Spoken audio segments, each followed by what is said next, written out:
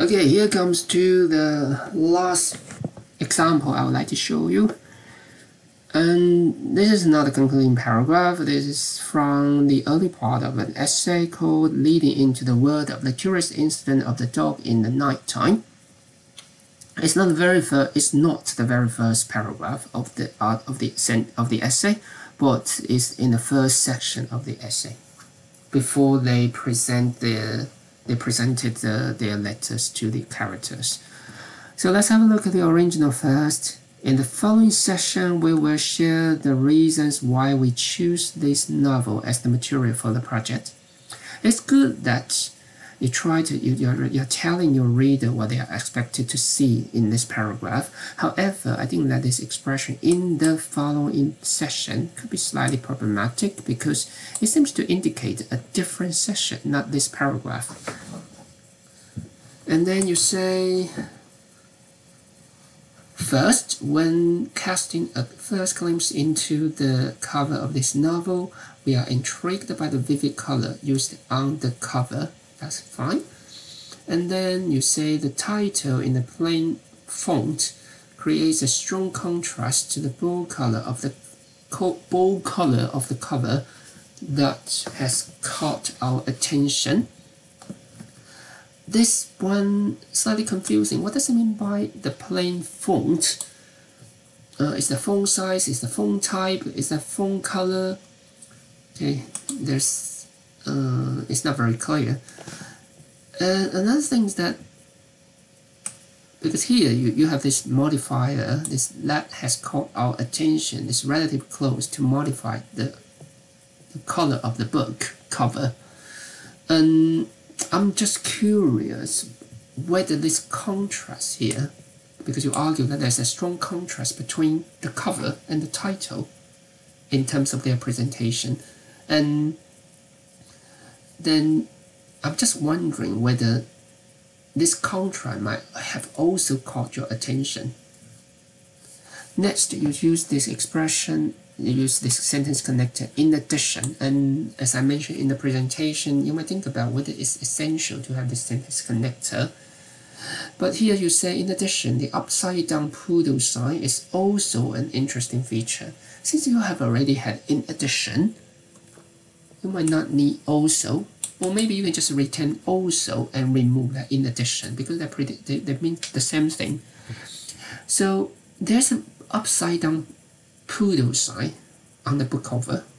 That's good. It's interesting. That's also good. But I feel there's slight problem with the with this part that has indicated us the key involvement of a poodle in the novel. Why? Yes, it's true. This poodle sign might indicate that there is a dog in the novel, but my concern is why do you want to talk about this here? If, for example, if you have a statement saying that as all of us love dogs, okay, we are interested in everything about dogs, including books or novels, then you can use that as the reason to justify this claim that, oh, this upside down poodle sign is actually a very interesting feature of the cover, and which led us to decide to look at this book. And then you say, speaking of the Poodle Wellington, the characters are considered the most fascinating part of the novel. This sentence is actually problematic because, first of all, you you assume that your reader share the knowledge. Think about that. This is this is, even though this is not the very first paragraph of the of this essay, it's in the early part of the essay, and also the author haven't haven't talked about the plot, a lot about the plot. So, what is who who is you know what's the role of Wellington in this particular novel? It's not very very clear. Okay, and also I'm not quite sure whether this sentence fit into this particular paragraph. So you might take it off because I don't feel it's cohesive. And then you say, as the reading process continues, our impression for the character in the novel may change drastically. may change drastically. If you want to say you will change, may change, then you probably wouldn't include drastically. Okay, but it's good that you talk about that your impression might change along the process of reading this novel. And then you again, once again, you use, use this expression besides, like addition, in addition. Okay, again, you have to think about whether you need this sentence connector. And you say, the unpredictable plots and the peculiar narration style have also enhanced their personality. Whose personality? The character's personality? Yes. And their characteristics. Mm, not quite sure what I mean here, but, but again, it's okay. And then you say, as indicated above, this novel, especially for the plot of character, this novel, especially for the plot of the characters, is the main reason for us to choose as the as the reference for this project. I think they probably have to revise this part because it's not it's, it's very difficult to comprehend. And then you say Thus, so that's a bit like a conclusion. We would like to write letters to four characters, including Christopher, his dad, his mom, and Mrs. Shears. Then you have another sentence say, here are the reasons why we choose the activity of writing letters to the characters. Uh, did, in my opinion, you might like to have this part at least from here, you might like to have this part as a separate paragraph.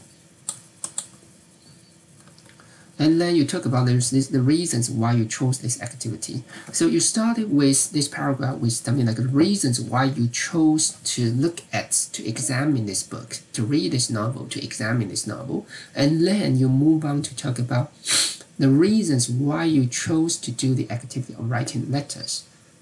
Okay, so I think that you should focus on one topic in a paragraph. So let's have a look at this part. You say, first of all, our impression of a character usually changes, usually changes. Why usually? Is there any, is there any evidence to make such a, for you to make such a sweeping generalization? As the plots of story progress and more aspects of the character's traits and personalities are revealed. And then you say by writing letters to the characters, we can recall our first impression of the characters and how the view changes during uh, during the reading. And this is good. And then the second reason is that since the, since the story is about a murder case, writing a letter can help us figure out the relationship between the character. To be honest, you know, this is the causal effect sentence, so I'm not 100% sure whether that reason, that cause, the story is the murder case, whether this can justify this claim that writing a letter can help you figure out the relationship between the character. I mean, you can you can think about this relationship, especially you use the very strong word since. So there must be a very strong relationship between A, the cause, and B, the result. And then finally, you say finally writing letters to the character enables us to uh, enables us to concretize our imagination of the characters, and it's just like we are having a conversation with the fictional figures. I think that's fine. And then we say you say we can express our emotion react emotional reaction, such as admiration or disappointed disappointment to the character directly. That's all fine. But then here comes the problem. You say also, it's a bit similar to that in addition besides that you use quite a lot in this paragraph. And then you say also, we would like to understand how the characters react to the murder case and how does the murder case influence their life afterwards. I think for this particular, this part can be regarded as a separate reason. So here you press you, you see you have firstly secondly and then you have this you have this firstly here you have secondly seems to be the second reason and then you have this finally seems to be the third reason but how about this part? Is it the fourth reason? Or is, is it part of the third reason? But this is not, it's not very clear. For me, that is a separate reason from this final report. And finally, you say these reason leads to the conclusion that we want to engage in this intriguing activity. That's fine, but there's also one more thing I would like to point out in your in the original part. It's a tense. Again, you are reporting what you did in the past. So I still think that it's better to use past tense here. So let's move on to my revised version. I started with initially, we have chosen to read this novel because of its cover, so I tried to make it very, very clear, straightforward, that I want to tell you the reasons behind the choice of this book. And I told my reader that it's the cover which attracted our attention. So I say we were intrigued by the bold and vivid color on the cover, in contrast to the title printed in plain white. I also mentioned the upside down poodle sign is also a fascinating or interesting fe feature to catch our attention. I just make it like that. I didn't move any further. And then I say once we started to read the book, we were immediately drawn into the plot involving Christopher, his family, basically his father and mother, and neighbors, and also a neighbor and his family, a neighbor, and Wellington, the poodle who was killed in the story. Uh, I just try to make everything as clear as possible. And by doing so, I also don't need to recap those characters in my next sentence.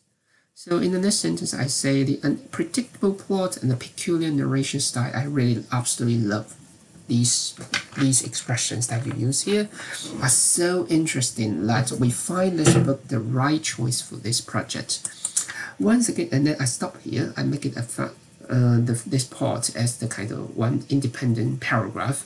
So the whole paragraph itself is used to tell my reader why I chose this book. Then I move on to those reasons why I, we decided to do this activity. Then I started, I, did, I started the next paragraph with, we chose to write letters to, our, to, to the four main characters in this book. Christopher Boone, the protagonist and narrator of this novel, Ed Christopher's father, Judy Boone, Christopher's mother, Eileen Shears, Christopher's neighbor and owner of Wellington. I try to make everything as clear as possible, and also by doing so, I'm telling my reader who the characters are. And at least by by spelling out the name, you know, is I make everything much much more clearer to the readers. And then I say there are three reasons, or maybe I should say four. Yeah, maybe I should change a bit. I think there are four. Let me change it here.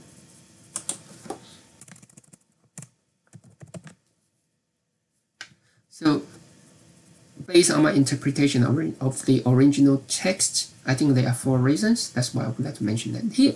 So there, I, I make it very clear to my reader that there are four reasons I'm going to talk about, about why we decided to, to do this task of writing letter. First of all, our views towards the character change whilst reading the novel.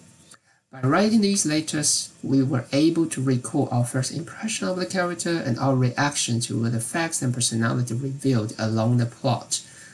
And second reason, which is about this murder case, I just try to emphasize it. I just make it like, uh, with the mysterious murder case, this activity could help us assess the relationship between the character so that I tone down that kind of causal effect relationship in your writing.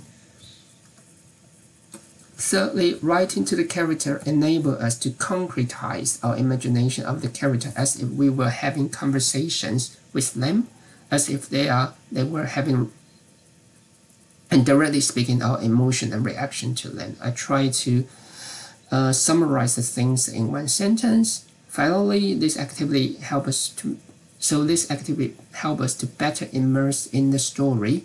Finally, we are very curious about what they thought, what how the murder might have influenced their lives after the story finished.